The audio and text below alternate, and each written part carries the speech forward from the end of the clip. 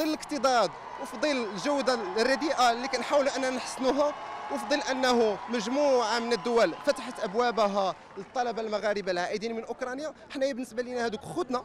وهذوك مواطنين المغاربة وبالعكس حنا الأولى أننا نبغيو لهم الخير. يعني من هذا المنطلق هذا يا لا يجب أن يشكك أحد في مسؤوليتنا وفي وطنيتنا. حنا يا زعما هذوك الناس كنقول لهم راهم خوتنا وبالعكس نبغيو لهم كل خير. ولكن راه لمصلحتهم ولمصلحتنا كنديروا هذا هذا الموقف هذا. كنقولوا أنه باش ما تضرش لا جودة التكوين ديالهم لا جودة التكوين ديالنا لا في الأخير المواطن جودة يعني التطبيب وعلاج المواطن المغربي. كنقولوا أنه يستحيل في الظروف الحالية أنه يتم إدماجهم لمجموعة من الأسباب. يعني ناقشناها وبيناها وعرضناها في المجتمع المغربي. يعني حنايا راه ماشي من باب أنانية ولا إلى آخره حنايا من باب وطنية ومن باب مسؤولية اللي كيخلينا أننا ناخذوا هذا الموضوع.